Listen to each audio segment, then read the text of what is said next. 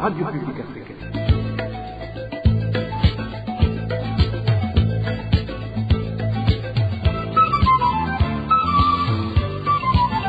Rádio Pública Africana.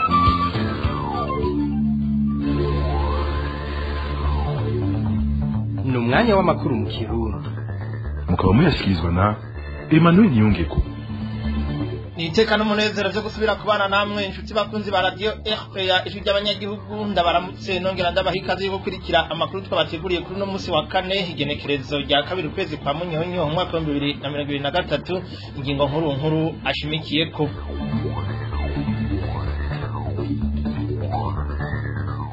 Kutaronka ibirego bikwiye ku bijyanye n'abantu banyuruzwa bakabugwa irengero ni byo bituma dosiye zabo zidindira.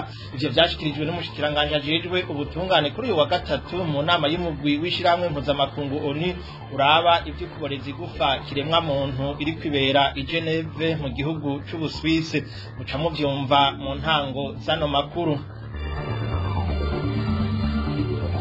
Umuhanuzi wa buramatari w'intara ya rumonge mu by'amategeko aridogerwa n'abanyagihugu bamwitura ko abajuragiza bigatuma batakaza umwanya wo kunguruza imanza zabo. Mu ishyirahamwe orikome ryishinze kurwanya abarya ibiturire hamwe n'abanyonora ubutunzi bw'igihugu babona ko ubukene bw'amafaranga mvamakungu buterwa n'uko uburundi butagira ibyo bushorera hanze y'igihugu gufata minenerwe igisata c'ubutare hamwe n'intwari itabereye. Muri iryo shyirahamwe baratanga bimwe mu byokorwa kugira ngo ibintu bihinduke. Mu kanya muri mwimwe ukwayo.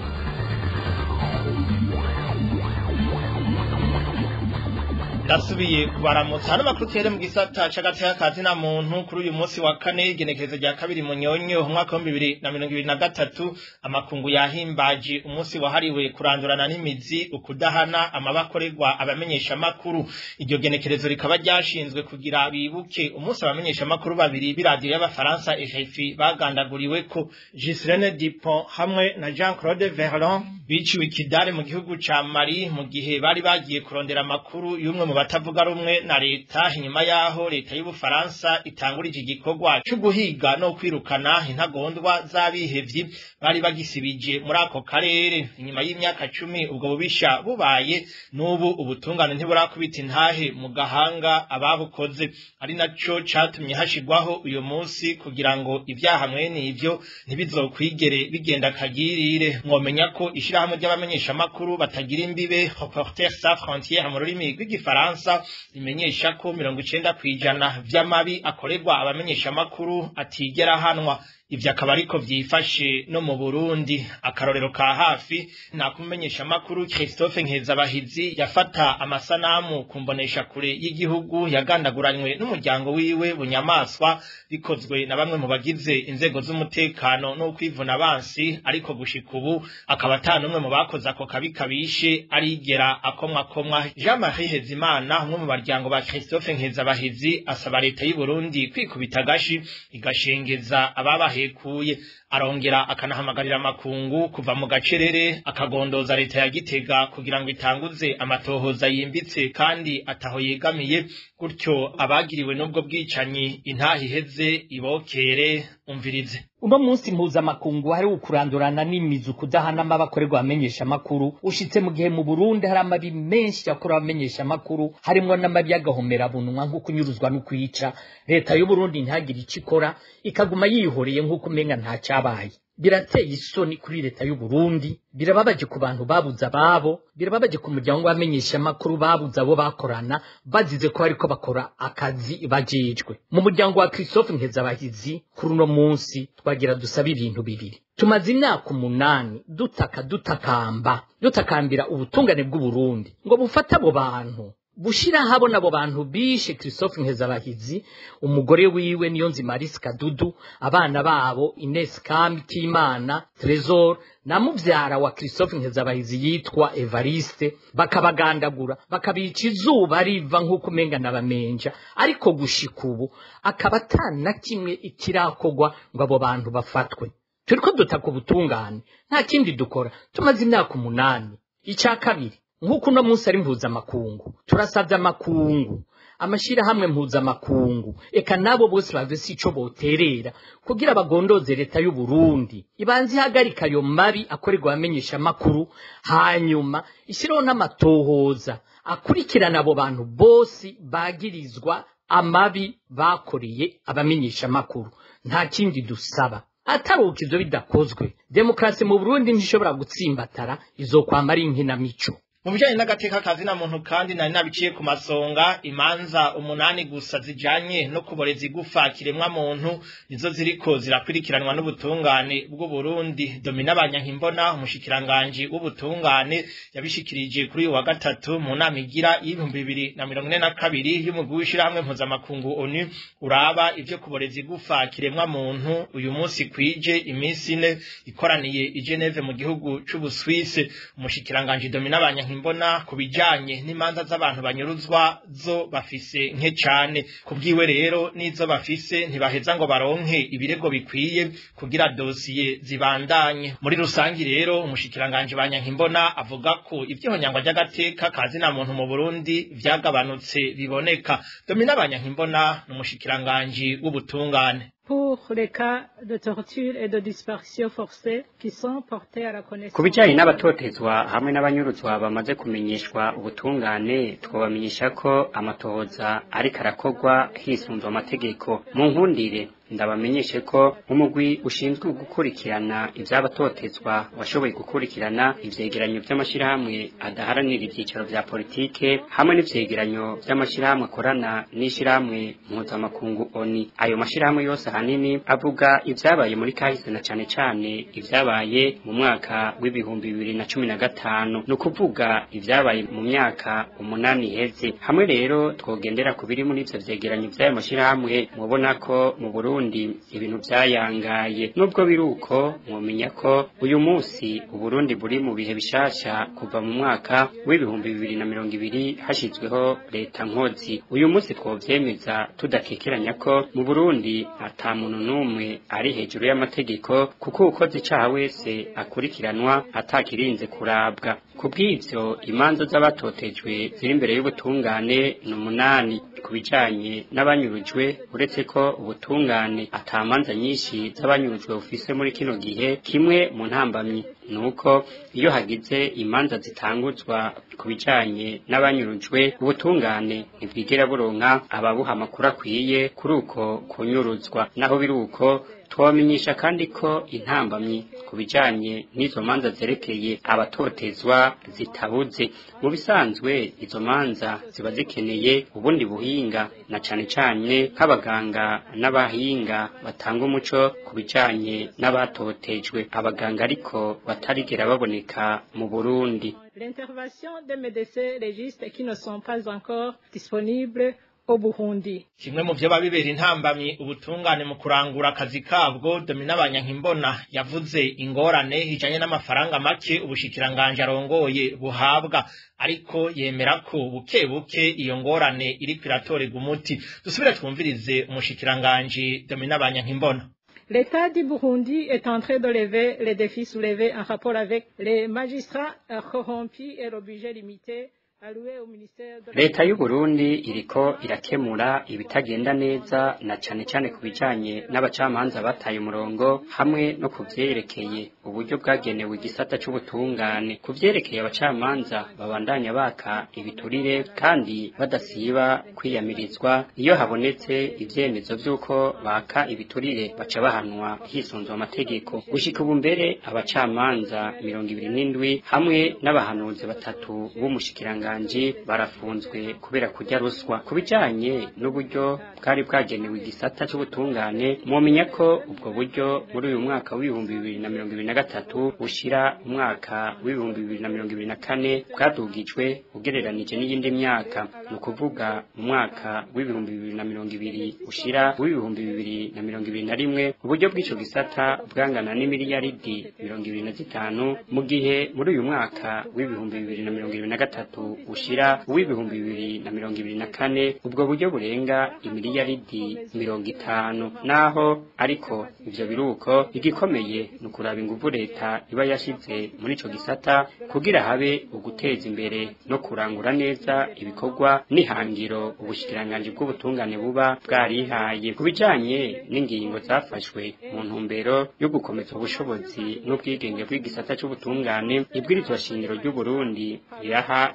abacamanza ubwigenge kandi rikanabemerera gufata ingingo zibereye bisunze amategeko n'akarangamutima kabo. Kubw'ivyo inyigisho nkarishabwenge zitandukanye zamaho ziratangwa ku bacamanza n'ikigo kibishinzwe c'ubutungane gifashijwe n'ubushikiranganji bwo gufatana mu nda bw'agateka ka muntu hamwe n'abandi.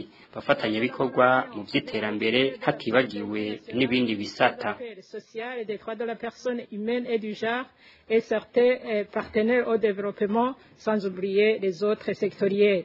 Ku ruhande rw'amashirahamwe haranira agateka kazina muntu mu Burundi yari yitavye ivyo bikorwa bo bavuga ko icaha cihohoterwa mu Burundi kitigeze gihagarara kuva haduka indyane zishingiye ku kiringo ca gatatu c'umuhisi perezida Petero Nkurunziza. Umushingwamanza Lambert Nigarura avuga ko batanze uturorero twinshi tw'ivyemezo bitavuguruzwa. Twari twatanze icegeranyo kuri uwo mugwi wa onu ujejwe kurwanya ivy'ihohoterwa rya kiremwa muntu twerekana ivyaha bitandukanye bikorwa bifatiye ku guhohotera kiremwa muntu mu Burundi arivyo bita acte de torture n'ibindi vyaha bigendana bavyita acte de torture et traitement cruel inhumain et dégradant hari ivyo gufata abapfasoni n'abakobwa ku nguvu ivyo gutoteza abantu ivyo vyose rero vyari vyatanzwe n'ama n'ivyemezo bihagije vy'ababikorewe canke imiryango eh, ku buryo vyari bigoye gu- guhakana. Ivyo navyo n'umugwi wari ujejwe kuvyiga uh, waravyize uraheza urashikiriza ibibazo bitandukanye eh, umugwi wari waserukiye leta kuri ivyo vyaha. Eh, twavuga yuko rero twebwe tumaze gutanga ico cegeranyo tukaraba n'ibibazo vyabajijwe eh, umugwi waserukiye leta vyari ibibazo nkoramutima bigaragaza icaha c'ihohoterwa kirema muntu ko kibandanya mu Burundi eh, kuva mbere izi njyane zo mu Burundi zitangura n'imbere yaho n'ubu atakirahinduka. Nivyo rero twashikirije kandi nivyo n'umugwi wabajije eh, eh, umugwi waserukiye leta kuko twerekanye ibitigiri vyatohojwe n'amashirahamwe asanzwe atohoza ivyo bintu aho novuga nk'ibitigiri vyatanzwe na rigiteka canke SOS Torture eka nakate ku batotezwa ku bahohoterwa ibitigiri vy'abantu bazwi amazina n'aho baba imiryango yabo. Vyari bigoye rero guhakana ivyo rero vyarashikirijwe eh, n'umugwi tohoza w'agateka ka muntu waboni nivyo bitigiri washikirije umugwi wa leta y'u Burundi. Eh, ivyo vyaha rero bigizwe no gufata abagore n'aba- n'abakobwa ku nguvu harimo ivyo gutoteza kiremwa muntu ivyo bakoreye abagabo batandukanye ivyo batoteza abantu mu kubahohotera mu gupfungira abantu ubusa eka mbere eh, no gupfunga abantu bagateba bakabuzwa kuja kwivuza n'iyo bagwaye mu gihe mbere uhura eh, hari abaheza bagapfira mu bitaro eka n'ibindi vyaha bikorerwa abantu bitandukanye vy'ubwoko bwinshi biri muri uwo mugwi wo gutoteza abantu. Ariko umushingwamanza Lambert Nigarura arashima ko n'imiburiburi intumwa za leta y'u Burundi ku nshuro ya mbere zariye umutima amenyo zikemera gukurikirana ivyo bikorwa zitivumbuye nk'uko vyahora biba. Dusubire twumvirize umushingwamanza Lambert Nigarura. Ico umuntu yovuga nk'amashirahamwe yigenga reka tubanze dushime ko n'imiburiburi kujya mbere baremeye gukurikirana ibikorwa baremera kumviriza ibibazo kwicara gushikaho ibikorwa bihera. Ico nico umuntu yoshima. Nayo kuvyerekeye ibibazo eh, vyarabagoye kwishura kandi birumvikana ibibazo vyabajijwe bifise n'ivyemezo vyari bigoye kwishura ngo bihakane utari buvyemere. Hama ibibazo umugwi wa leta inyishu waronse utanga nuzishira mu migwi ibiri. Nuko umugwi wa leta utashoboye eh, kwishura ibibazo nk'uko vyari vyabajijwe. Ahubwo umugwi wa leta wagerageje kuvuga ibindi ukwepa ibibazo nyamukuru vyabajijwe bifitiwe n'ivyemezo uca wivugira ibindi bindi bitabajijwe. Ahandi naho hakabaho bagerageje kwishura muga batanga insiguro zidatomoye zimwe novuga ziri muri rusangi atanyishu y'ibibazo bitomoye yigeze itangwa. Aha kabiri naho ugasanga batanze inyishu zitarizo. Zidasa n'ikibazo catanzwe. Aho novuga cane cane nk'igihe bababaza ku vyerekeye abantu banyurujwe aho naho ugasanga bavuze umumenyeshamakuru mu kinyamakuru iwacu mu gihe hari abantu banyurujwe benshi bari mu vyegeranyo banyurujwe n'inzego z'umutekano ku murango izuba riva ivyo bakaca batinya kubivuga bakavuga ngo abantu babiri. Ica kabiri ku vyerekeye abo baba barakurikiranywe mu bagirizwa ivyaha buri mu nzego za za leta abago mw'iperereza canke abapolisi. Umushikirizamanza kizigenza yatanze amadosiye amadosiye atari make ngo y'ababo baba barakurikiranywe. Muri ayo madosiye ntihigeze avuga ati zikurikirana abajejwe umutekano abajejwe iperereza canke abapolisi. Yatanze amadosiye ntavuge n'uwo zikurikirana. Iyo niyo novuga yuko ari inyishu y'ukwikurayo inyishu y'ukwigovyora idatomoye idakwiye. Umushingwamanza Lambert Nigarura muri aya mezi icenda ya mbere y'umwaka wa bibiri na mirongo ibiri na gatatu haribonekeje kugerageza gukumira no gucafuza abo mu mashirahamwe aharanira agateka ka zina muntu bahunze. Tubisanga mu cegeranyo c'urunani rw'amashirahamwe akingira abaharanira agateka ka zina muntu mu Burundi. CBDDH mu majambo avunaguye y'igifaransa. Gervais Nibigira ajejwe igisata co kumenyesha amakuru no gutunganya imigambi muri urwo runani.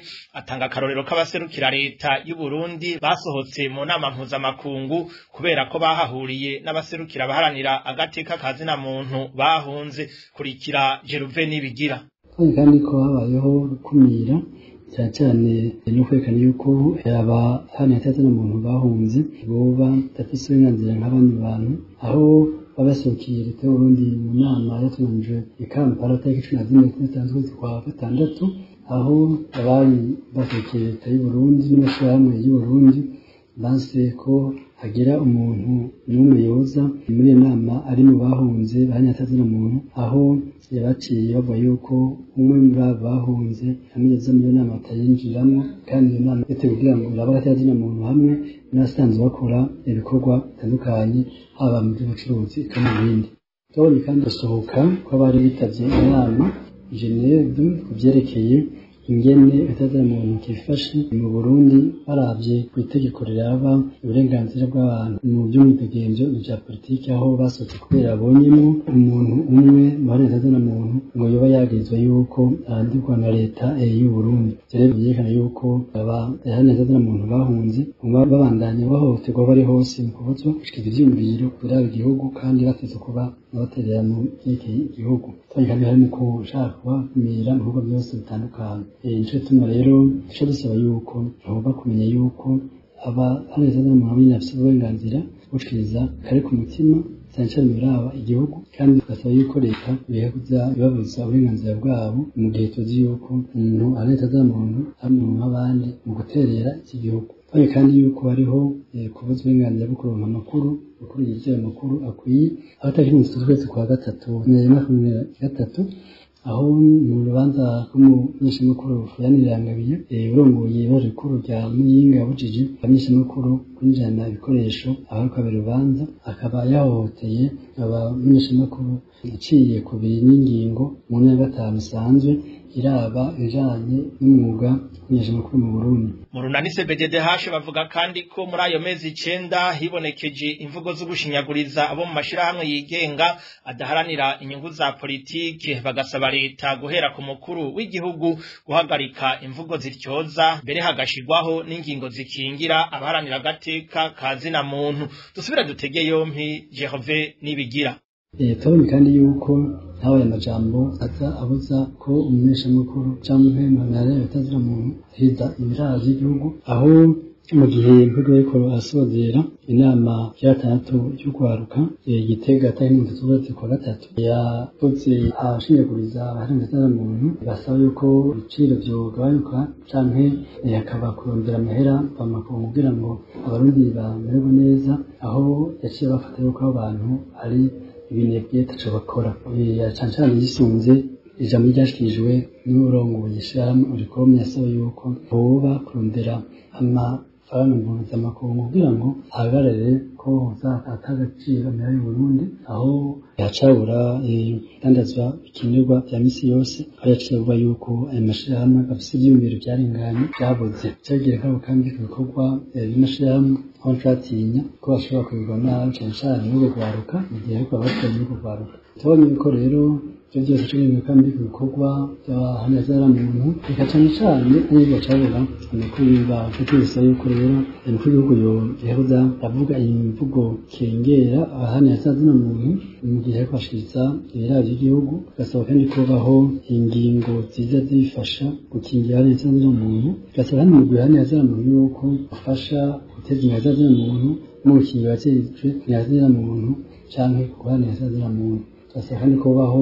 itegeko riharanira zina muntu mu Burundi ariko rifise ingufu zikwiye. Uwo yari Gervais Nibigira ajejwe igisata cyo kumenyesha amakuru no gutunganya imigambi mu runani CBDDH iyi muri ko murakurikira ni radio RPA ijwi ry'abanyagihugu tumira amategato tubandanye n'amakuru twabateguriye RPA mu gisata c'intwaro navyo nyene mwari mwavyumvise mu ngingo nkuru nkuru bamwe mu banyagihugu bo mu ntara ya Rumonge baridogera umuhanuzi wa buramatari w'iyo ntara ajejwe ivy'amategeko ko ajuragiza abamwitura. Umwe mu banyagihugu asigura ko mu gihe abituye intahe yo ku mutumba babonye ko barenganijwe bagahitamwo kuja kuvyiganira uyo muhanuzi wa buramatari. Imbere yo kungururiza muri sentare y'intango hakubaha intumbero abajuragiza abizeza gutorera inyishu iyo ngorane mbere bakisanga n'igihe cy'ukunguruza cabaheranye twumvirize umwe mu banyagihugu bo ngaho mu ntara ya Rumonge yaganiriye na radio RPA abenegihugu bo mu ntara ya rumonge barafite ibibazo ibibazo bikomeye baterwa n'umuhanuzi mu by'amategeko wa buramatari w'intara ya rumonge yitwa ribe bizimana uwo muhanuzi araziragiza abenegihugu bafite imanza akababwira ko ari bafite ijambo rya nyuma ngo mu by'amategeko no mu by'imanza ukajya usanga kubera ukutamenya ko abenegihugu umunyagihugu avuye mu bahuza aciye azana icegeranyo abanje kuja kuri uwo muhanuzi babura amatanga umuhanuzi agaca nawe abijamwo bakabanza kubumviriza kandi uwo mwenegihugu avuye ku bahuza afise iminsi cumi n'itanu yo kunguruza muri sentare y'imana ivyo rero bigaca bituma ya minsi ibarengana ukaja usanga rero bariko baraza muri sentare kubera yabuze ico bamarira kandi bamwe bamwe ngo banamuhaye n'amafaranga kuko aba yabemereye yuko byose abimara bakabibamarira kandi ngo bigenda neza rero urumva abanyagihugu bari muri ayo maganya yo kuzuragizwa n'umutegetsi nk'uyu kandi mu bisanzwe ariwe yategereza kubereka inzira akababwira ati ca ngaha usubire uje ngaha hanyuma akababwira neza yuko izo manza zitegerezwa gucibwa n'amasentare abifitiye ububasha bamwe barabishikirije buramatari mugabo buramatari ntacasinye kubivugako rero basaba umushikiranganji w'intwaro yo hagati yuko yobakurako uwo muhanuzi bizimana ribe kuko ageragiza abanyagihugu aho kubafasha kandi arico yari yaratorewe basaba n'umukuru w'igihugu kubera ari we namushizeho yohaguruka agahindurira amabanga uwo muhanuzi wa buramatari tubandanirize mu bijanye n'ubutunzi ubukene bw'igitoro burabandanya kwibonekeza mu ntara zitandukanye z'igihugu. Mu ntara ya muyinga hacindwi zibiri hataboneka nima ku masitasiyo kugira baronke na gike cyo kwiyunguruza bagikura ku badandaza ba magendo naho nyene ku giciro kinini. Inkuru ya Eric niyo nzima mu ntara ya muyinga mu buraruko bw'igihugu abanyagihugu bavuga ko ikibazo c'ikena ry'igitoro co mu bwoko bwa essence cabaye ndanse bamenyesha ko hacindwi zibiri ata gitoro ca essence baronka. Bagatanga akarorero ko ku masitasiyo agera kuri ane yo mu gisagara ca muyinga hatagira nima. Uyu munyagihugu wo mu ntara ya muyinga arabitwiganira. Riya desomene cari cabonetse ariko izo ndwi zibiri mwumva ziheze imazuki yaraboneka hanyuma inyuma y'iminota mike y'igica kirahera hari haje turitiro dukeya. Vyo nyene bica bitangura bikaduga kuva muri karitsiye uja muri centre ville igihumbi igihumbi n'amajana atanu. Esanse hari kabisa ubu ibeni y'amatafari baciye bashirako dise aho desa senkante muri desa soasante ibintu nk'ivyo nubwo biruka bakironka ku bakigurisha kuri magendo ariko ku mafaranga y'umurengera magendo kiraboneka buke buke gihabwa n'umugenzi mw'ibanga ntangere kubera ko hari ingingo zikomeye cyane zafashwe mu kudandaza igitoro ca magendo benshi hari aho bashi vyakozwe ko bapfunzwe naco gituma rero bikorwa mw'ibanga ntangere ntiwohuta wagiye ahantu ngo urabona abantu ngo bagifise kumwe kwa kera kibuni ca esansi kuri magendo kiboneka bigoranye hanyuma kirigurishwa amahera y'amarundi ibihumbi cumi na bibiri. Iryo baragira igitoro muri iyo ntara ya muringa riko rituma ibiciro vya bimwe mu bidandazwa biduga. Bamwe mu badandaza b'ibifungurwa vya nkenerwa baciye bikikamukiza mu kuduza ibiciro uko bishakiye. Abanyagihugu bagasaba leta kwikubita agashi igashira mu ngiro ivyo yemereye abanyagihugu mu gutora inyishu ico kibazo shikana ry'igitoro mu gihugu. Eric niyo nzima umwimbu muke w'ibiterwa njabukamazi ukutitaho igisata c'ubutare intwari ibereye idashigwa imbere hamwe no kutitaho gushira imbere imigambi iteza imbere igihugu biri mu bituma ikena ry'amafaranga y'agaciro ribandanya kwibonekeza mu gihugu. Ivyo vyavuzwe na Gabriel Rufyiri arongoye ishirahamwe Oricome rigwanya ibiturire hamwe n'abasesagura amatungo ya leta. Hari mu kiganiro yahaye abamenyesha makuru kuri uyu wa kane. Kubwo yarongoye Oricome hari bikenewe gukorwa na leta y'u Burundi kugira ngo iyo ngorane itorerwe umuti. Kurikira Gabriel Rufyiri arongoye ishirahamwe Oricome yishinze kurwanya ibiturire hamwe n'abanyonora amatungo y'igihugu. Cyambere cyo kogwa tusaba leta yuko yofata berde ikayikura mu biro by'umukuru w'igihugu ikayigira iyigenga. Nk'uko biri mu yandi mu bindi bihugu. Mugabo ubu uya rimwe na rimwe ijya banki nkuru y'igihugu. Murabona neza ko biba bigoye n'ikimenyamenya ni abatwara izo nzego usanga bakurwa ni ingene bashyirwaho n'ingene bakurwa murabona ko biba ku mwanya ku mwanya. Ibyo rero murumva yuko hari ikibazo gikomeye cyane k'ubwo buryo. Ikindi na cyo ni uko leta yokora ibishoboka byose kugira ngo amafaranga makeya ahari ashobore gukoreshwa neza. Ntibagume bayaha abantu ubona ko mu by'ukuri baza kubikoresha ibintu bitari byo. Mbere twaguma tubona kano kanya dusabe leta igire umugwi. Icyo nokwita audit international berekana amafaranga batanze mu bintu by'ibitoro aba ayahawe prestige cyangwa ayandi mashyirahamwe mbere n'ayatanzwe mu bintu by'amafumbire n'ibindi. Tubone icegeranyo tubone mu by'ukuri ibyo bimwe byagenze. Kuko ntibyumvikana yuko na dukeya tuhari usanga twitwarirwa n'abo bagange kumwe bakunda kubita nyene. Iyo rero igihugu kirimo abagangesiteri usanga biterurira ibintu gutyo oya. Hanyuma kaba kamizwe n'ingoma. Biba bisigaye bigoye. Ibyo bintu bigomba guhagarara. Kuko ubu murabona yuko umukuru aradenonsa umushikiranganji wambara akadenonsa abantu bose bakadenonsa mugabo dukeneye ko hafatwa ingingo. Kugira ngo abo babandi abo banyoni bagire ikibanza cyabo ikindi tubona bivuye gukorwa ubu uya ni uko leta ishyiraho ubuhinga kuko amafaranga yagiye hanze agarukanwa. Ikindi tubona ni uko hakwiye kuba yuko ugabanywa ingendo zigwa mu mahanga. Hakagirwa ingendo z'ukuri zigirira akamaro igihugu. Ni ukuvuga abantu bari mu nzego z'igihugu. Ikindi na cyo tubona ko gihambaye kigiye gukorwa ni uko leta yokora ibishoboka byose kugira ngo ibisate byo kugwiza umwimbu bishobore gutezwa imbere. Turabona ko igisata c'ikawa ciragiwe igisata c'ipampa ibijyanye n'ubutare igisata cy'abazanimitahe ibisata byo gufashanya koperative developement abarundi bari mu mahanga turisme ibyo bisata byose bituzanira amadovize. Leta nishiraho amasitrategi nishiraho ingingo zituma ibyo bisata mu by'ukuri bizana amadovize. Atari uko ibyo dukora ntacyo byoshobora gufasha. Mu kiganiro ako hambere cyo kuri uyu wa kane tubayagira ibijanye n'ibihe bine biranga umwaka w'irima arivyo agatasi urushana impeshi hamwe n'ici. Umutumire aratubwira ingene abarundi baho hambere bisunga ivyo bihe kugira ngo bamenye ibiterwa bijanye. Ikiganiro ako hambere cuno munsi mu gishikirizwa na Onezime dushimagize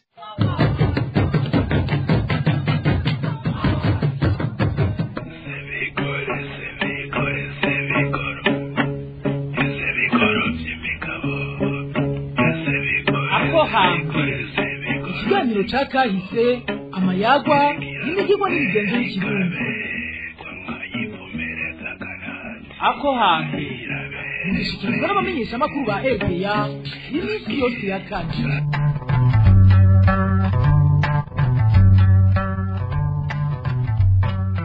Mwakoze kwitaba isango ry'ikiganiro ko hambere tubashikiriza kuri uyu munsi igenekerezo rya kabiri munyonyi umwaka w'ibihumbi bibiri na mirongo ibiri na gatatu. Mu kiganiro ko hambere c'uno munsi tubaganira ku bijanye n'ibihe bine bigize umwaka w'uburimyi. Arivyo vy'agatasi urushana impeshi hamwe n'ici turaje kumva kandi uko abo hambere bashobora kumenya imbuto zigenewe guterwa bivanye n'igihe c'uburimyi bagezemo umutumire w'uno munsi ni atanavu ndayizeye yizi vy'akahise kino kiganiro mu gishikirizwa na onezine dushimagitse Ma, mama, ni kubera ko ukunda RPA. Nijwi ry'abanyagihugu, nijwi ry'abanyagihugu.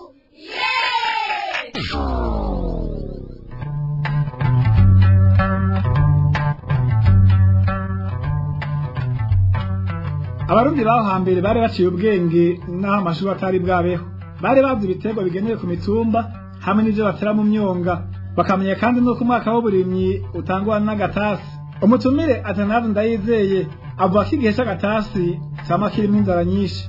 Muri rusange rero isi ndimwa yasa nuko igabuwemwo kubiri. Ni ukuvuga aho barima ibiterwa vyo ku mutumba n'aho barima ibiterwa vyo mu masoko. Ariko aho hose haba ku mitumba haba no mu masoko bari bafise uburyo bafata hamwe bakaharima ikindi gice bakakirindiriza gatoyi kikaba kirinjira kugira ngo bazosange caramaze kumera neza ivu ari rimeze neza rishobora kumeramwo ibiterwa bikaza koko bivyibushe. Umwaka w'uburimyi rero tubiravye neza watangura mu kwezi kw'icenda ariko kwa nyakanga imvura itanguye kugwa ni ukuvuga batangurana n'agatasi. Ivyimburwa vya mbere bigatangura kuboneka mu gihe c'impera z'ukwezi kwa kigarama. Aho twovuga nka vya biharage bimwe vyera nka hosi bimwe bikundwa na benshi kandi basa nuko bita umwamikazi w'ibindi biterwa vyose. Urumva rero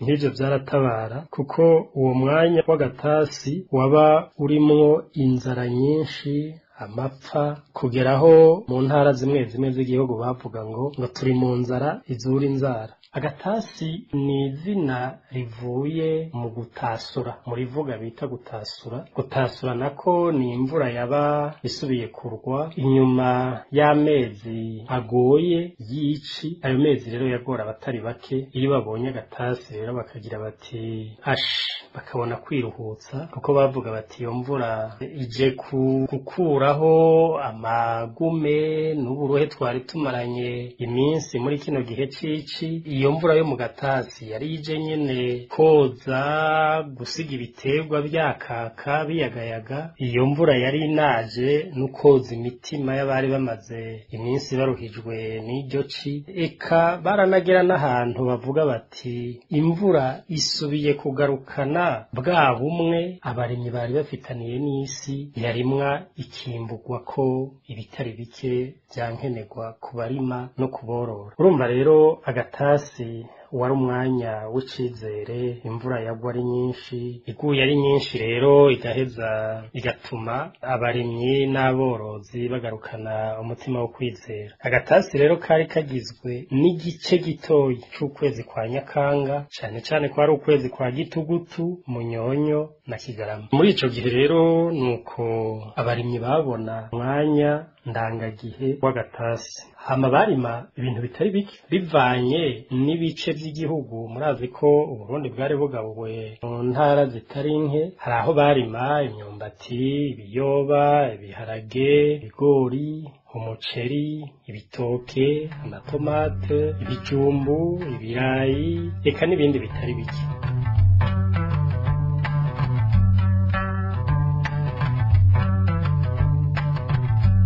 Atanazi ndayizeye avuga ko abarundi baho hambere barimira hamwe mu byo bita kurima canke guhindika ibiri.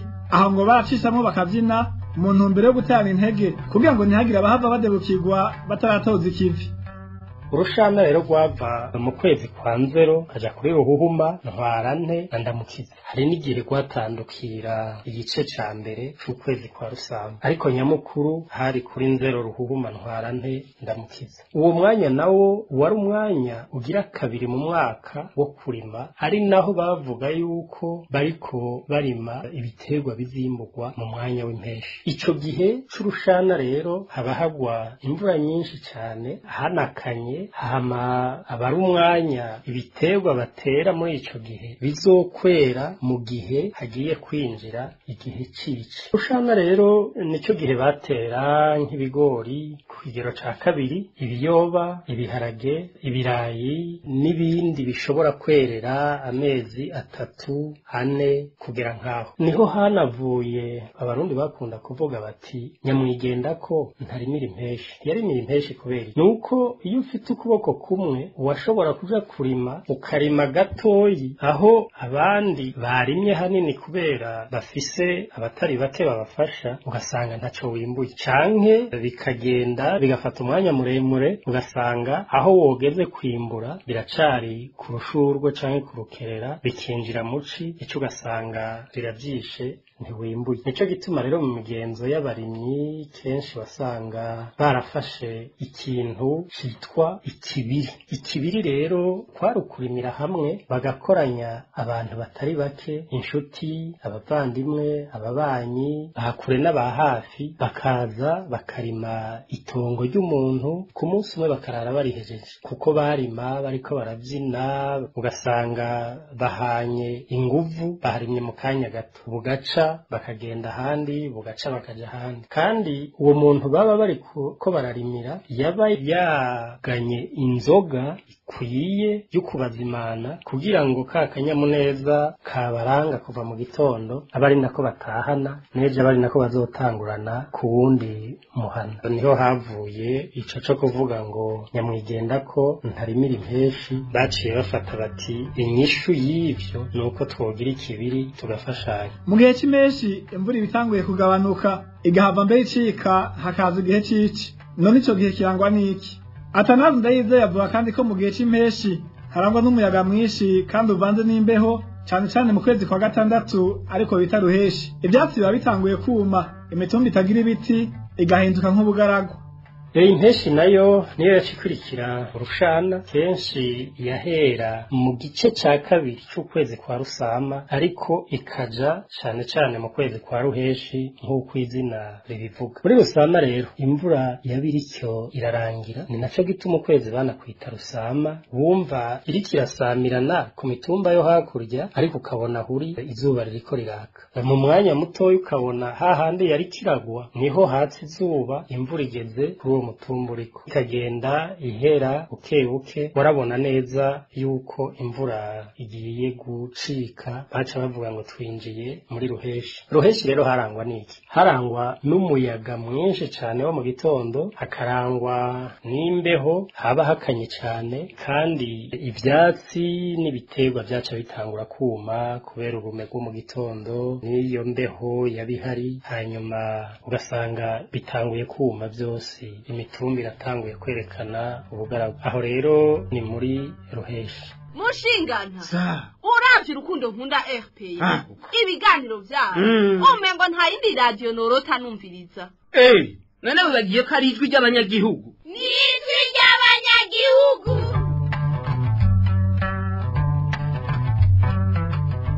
Atanazi ndayizeye avuga ko ici rirangwa n'izuba ryinshi kuva mu gatondo gushika ku mugoroba. Ico gihe barimira hegereye amasoko y'amazi mu kurindira ko imvura itasura ngo batere ku mitumba. Inyuma y'impeshi twaca twinjira mu co bita ici. Ici naryo ryaba rigizwe n'amezi atatu rimwe na rimwe y'imvura iguye kare yaba ari abiri n'igice ni ukuvuga ni mukakaro nyandagaro n'igice ca nyakanga. Canke nyakanga yose mu gihe imvura yatevye.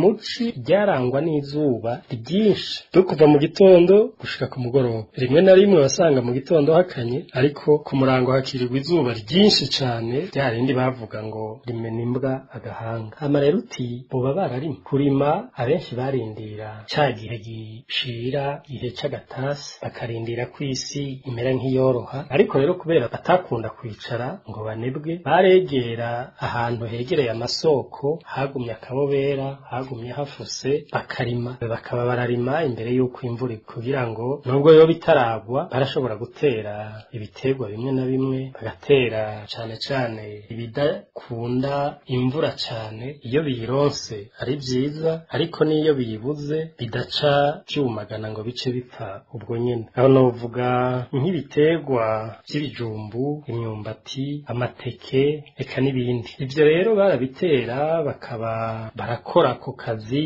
hanyuma bakarindira ko agatasi kagera nako bakabona gutera ibintu bijya vyo ku mitumba kumwe namye ndabivuga imyumbati ibiyoba ibiharage n'ibindi n'ibindi.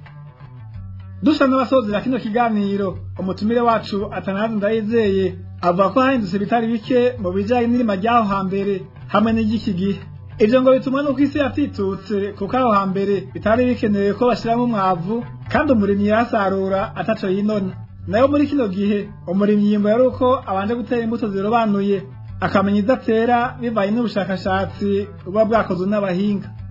Vyarahindutse cane nyene hahindutse bitari bike mbere. Rega isi ndimwa yaraze kandi inda zo kugaburira na zo zaragwiriye. Uko yaze ni nako no gutituka yatitutse. Kuko aho hambere ntihari hakenewe ko bashiramwo amafumbire. Umurimyi agiye akarima akazana imbuto yiwe akaminja canke agateragira yaragenda akabagarira mu gihe bikenewe. Mu nyuma akagenda gusarura ataco yinona. Ariko ubu ni ngombwa. Iyo ukeneye kwimbura utegerezwa gufumbira. Ico ni ikintu cahindutse kitari gito.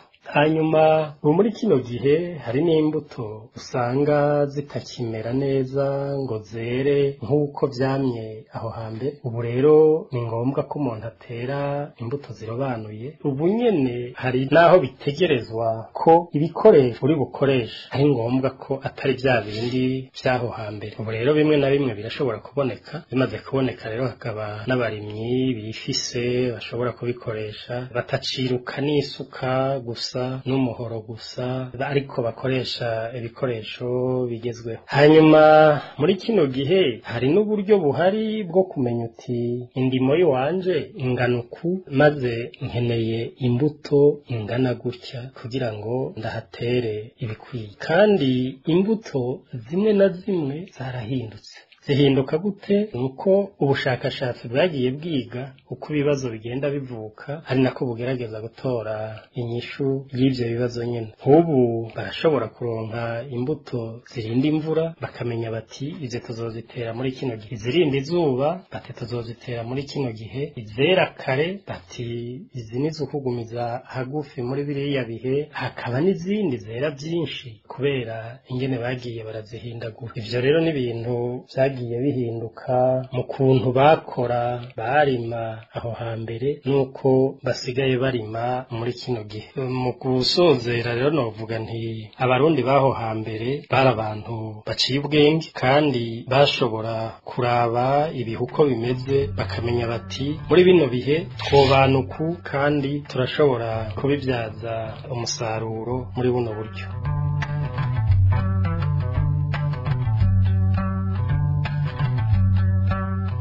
Ni hano dusozera ikiganiro ko hambere c'uno munsi.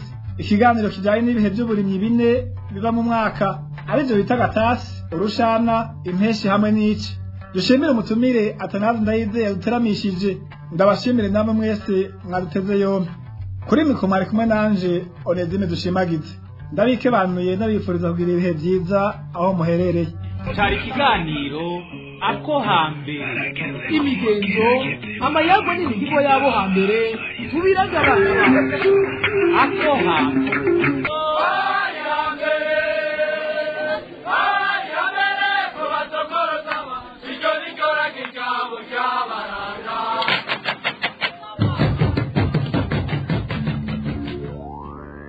hano rero ku kiganiro ako hambere duciye dusozerera amakuru yo kuri uyu wa kabiri munyonyo umwaka w'ibihumbi bibiri na mirongo ibiri na gatatu. Ngire ko nshimira mwebwe mwari muteramanye natwe ngakengurukira kandi n'abagize uruganda rwa radiyo rpa batororokanije aya makuru hamwe n'abahinga b'ivyuma batumye mvuga mu kanyumva kuri mikoro yari Emmanuel Ningeko mugira amahoro mu banyu no mu byanyu.